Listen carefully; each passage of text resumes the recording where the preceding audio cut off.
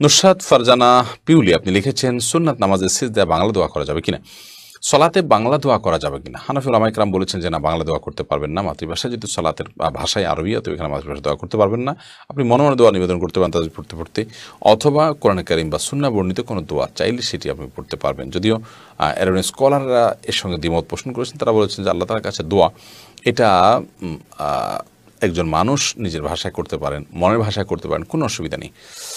এবং সেটা সালাতেও করতে পারেন। কারণ হাদিসে আসলাম করিম সাল্লা সাল্লাম বলেছেন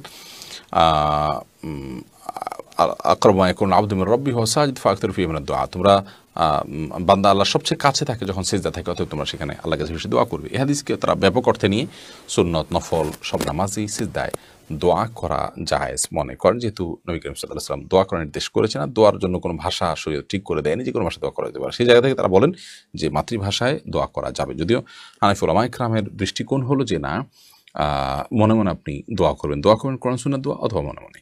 সলাতের ভাষাই হলো আপনার কোরআনের ভাষা। সেখানে অন্য কোনো ভাষা অ্যালাউড নয়। এটা ওলামা ইকরাম অনেকের মত। অর্থাৎ এটা আমাদের বাংলাদেশের ওলামা ইকরামের মত। তারা স্কলারদের মত হলো? যাবে